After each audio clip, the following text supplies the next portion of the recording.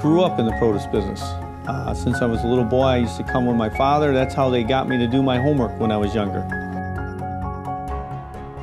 What I experienced was a multitude of many Italian families still running a produce truck, going through neighborhoods, going to stores, going to various institutions. What separates this company and, and what if I was going to meet with a new customer, what I would tell them is this. We are probably not the biggest company in this area.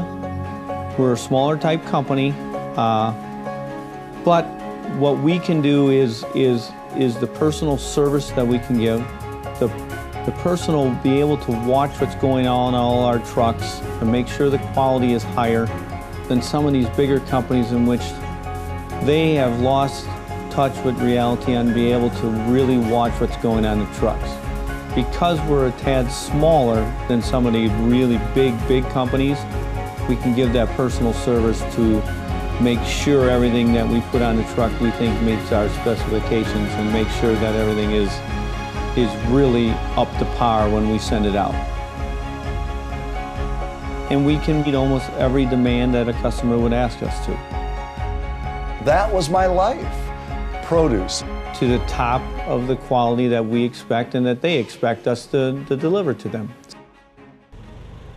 Quality on the table, Catalano on the label.